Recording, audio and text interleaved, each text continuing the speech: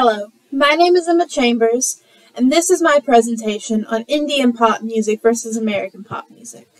Now to begin, let's talk about Indian pop music. Now, first of all, most of Indian pop music comes from their movie industry, and they are appropriately called cine songs. Now, the movie industry of India is actually quite diverse, and there's multiple parts to it, and it's not just the Bollywood like we tend to think of. In fact, Indian pop music is a blend of East and West music that can kind of be bizarre. It can make you think of songs you've heard before, but not quite. Um, the lyrics are focused on emotions and the ups and downs of loves, but they can also talk about internal and external emotions, and also just things that you wouldn't normally hear in American pop music. In terms of musical structure, the timbre, form, and instrumentation can be creative.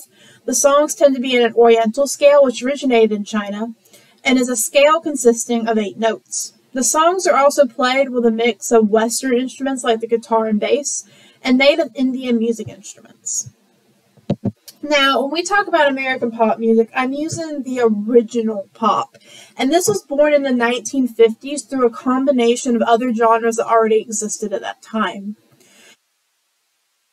From a combination of them, for example, the vocals came from gospel and soul, instrumentation from classic rock, and its tempo from dance music. In fact, during the 60s, pop fell into two categories either a singer with an orchestra or a guitar, drum, and bass group, kind of like the Beatles.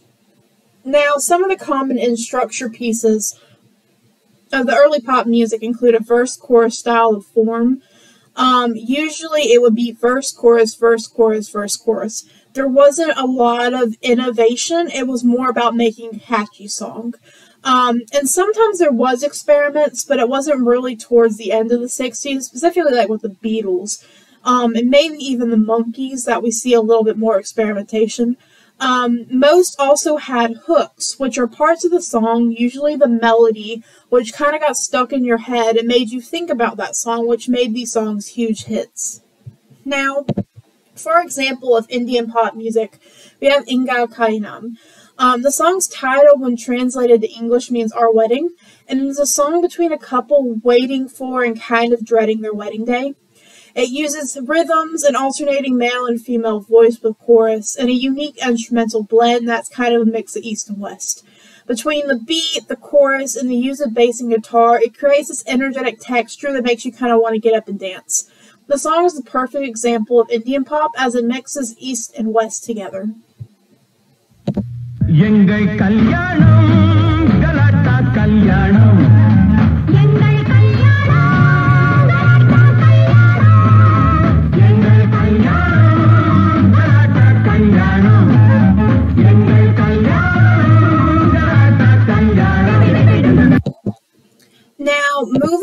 Over to who composed the song. Um, in Indian culture, the directors, the composers, and writers are the actual stars of the show, not necessarily the artists. Singers don't tend to have a name for themselves, and it tends to just be a chorus or someone just hired to sing called playback singers. M.S. Viswanathan was the composer of Ingao Kalinam, while Vaali was the writer. T.M. Soundarajan was a hired playback singer.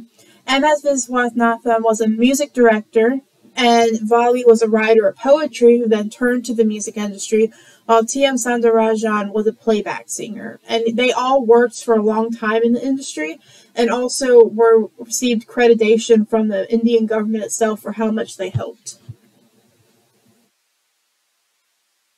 On to our American pop culture example, we have the song Beach Party, which comes from the Beach Party movies and is sung by Annette Funicello. The song comes from that typical verse chorus form where the song Beach Party Tonight is repeated over and over to produce a hook. Typical pop instruments of the time are used, like the guitar, drums, and saxophones, and they use elements from rock and roll, soul, and jazz. The lyrics are very superficial and tell what they're feeling at the time, which is they're going to a beach party. There's not nothing really deep to it, so it kind of comes off kind of shallow.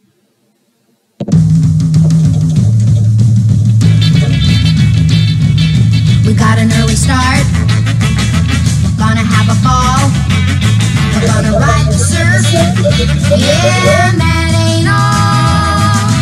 Nothing is greater than the sand surfing off there. Unwrap our boards just as soon as we get there. Stack them in the sand while they're breaking just right. Yeah, we're surfing all day and we're swinging all night. Vacation is here. Beach party tonight. Now, when we look actually who made the song, we see three people.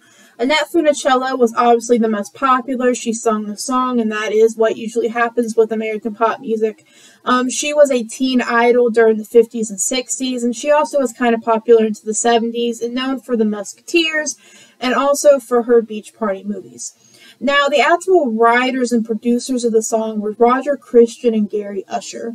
Um, now, Roger Christian mainly wrote for the Beach Boys and the Beach Party movies, whereas Gary Usher was a writer for the Beach Boys, the Byrds, Dick Dale, and for the Beach Party movies as well. They never were quite as popular as Annette, but they did do a lot of work behind the scenes. Now, when we compare the two cultures, we see a few similarities. Both Indian pop music and American pop music use classical instrumentation. Both tend to use a repeating chorus and music breaks to separate the verses. Now, music breaks are both very common in both of these cultures, but in India we see a repeating chorus, but it's just not as repetitive as you would see in America. It tends to hide in more, so you don't necessarily realize it as much. Um, a large portion of music or popular songs come from movies in both cultures. Both industries use influences from around them to develop their genre of music. For example, in India, we see um, Indian culture and religious culture kind of going into their pop music and influencing it and making it kind of unique. Whereas the origin of pop culture in America kind of came from combining all these genres together, making the sound that we all know. And lastly, both of them have a focus on melodies. Melodies are kind of what create these songs in the first time. You think of a melody in your head and then you move from there. Um, and because of that, a lot of these songs are catchy and have hooks because of that mel- melodic quality almost to them. Now, when we are contrasting, there are quite significant differences between the two. Indian pop music uses traditional instruments for their, for their culture, whereas American pop music tends to only use classical instruments. And what I mean by that is in America, we like guitar, bass, piano, so forth. In reality, those are classical instruments that most people around the world have. Um, whereas in Indian pop music, um, they like to use traditional instruments for their culture for example, they have their own traditional instruments, as you see um, from their religious culture, and also just from what they've grown over the last couple of years that they use in their music. American pop music tends to be short in length, whereas Indian pop music can be five minutes or longer. This is mainly because there is a difference between America and India, and the fact that America likes to create hits and things that chart, whereas in India it's more about the artistic quality. Indian pop music tends to be more about the writing or production. In America, it's more about singer. Um, and American pop music tends to be more structured, whereas Indian pop music tends to be more experimental. Just like I said previously, American pop music tends to follow the same structure in hopes of it getting big, whereas in India, they like to be more artistic and experimental and make just good songs that are just going to be catchy no matter what they do with them. Now, this was my presentation. And these are the works cited I use. I try to use as many as possible. Thank you for listening in, and I hope you have a good day.